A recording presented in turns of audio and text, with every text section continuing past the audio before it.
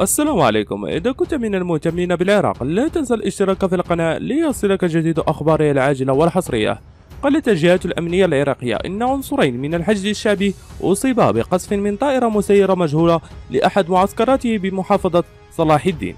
وقالت خلية الإعلام الأمني العراقي في بيان رسمي إن معسكر الشهداء في منطقة أرملي السابعة لستة عشر حشد شعبي تعرضت فجر اليوم في تمام الساعة الواحدة وخمس دقيقة والساعة الثانية وعشرون دقيقة إلى قصف ألقتها طائرة مسيرة مجهولة وجاء في الهجوم بعد يوم واحد من إعلان الولايات المتحدة فرض عقوبات جديدة على قيادات ميليشيات عراقية مرتبطة بإيران.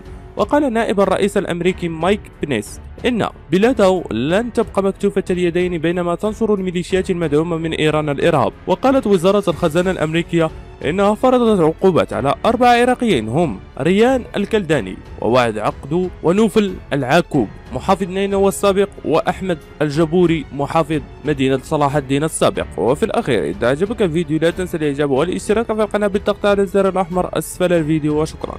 إذا أعجبك الفيديو لا تنسى الإعجاب والتعليق ولكي يصلك كل جديد. اشترك الآن.